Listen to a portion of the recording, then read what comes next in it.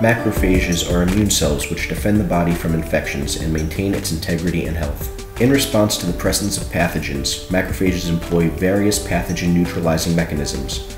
Macrophages are also responsible for the uptake and degradation of non functional apoptotic cells.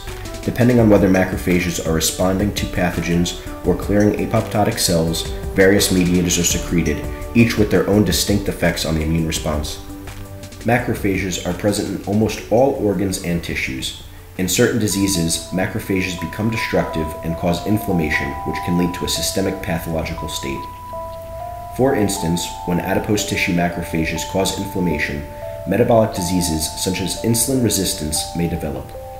Adipose tissue is important for the metabolic and endocrine well being of the body. However, excess accumulation of fat can evoke inflammation inducing behavior in the adipose tissue macrophages. In obesity, the fat cells reach their capacity to properly handle the lipid molecules.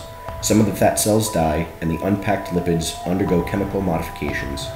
The dead cells and the modified lipids are recognized as danger signals by the adipose tissue macrophages, or ATMs, which then gather around the dying fat cells. Eventually, cytokines secreted by the ATMs diminish insulin sensitivity, causing metabolic disease. Our laboratory, located at Ulm University in Germany, works to understand adipose tissue macrophage development and immune behavior.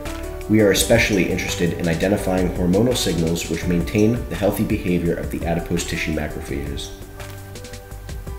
We have identified a hormone named neuropeptide FF, or NPFF for short as a key signal which controls the behavior of the adipose tissue macrophages.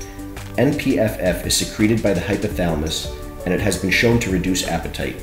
We show that NPFF is also secreted by the endocrine pancreas. NPFF containing cells, indicated in green, are located in the periphery of the pancreatic islets around the insulin producing cells, indicated in purple.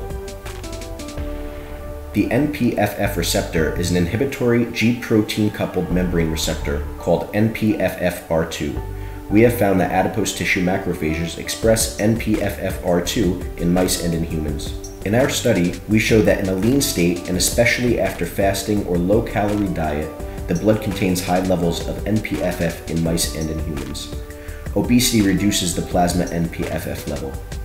NPFF is sensed by the adipose tissue macrophages through NPFFR2. Activation of NPFFR2 evokes specific transcriptional changes, inhibiting inflammatory activation of the adipose tissue macrophages. As a result, adipose tissue macrophages acquire a so called M2 tissue friendly, non inflammatory phenotype. Moreover, NPFF increases the self renewal of the adipose tissue macrophages.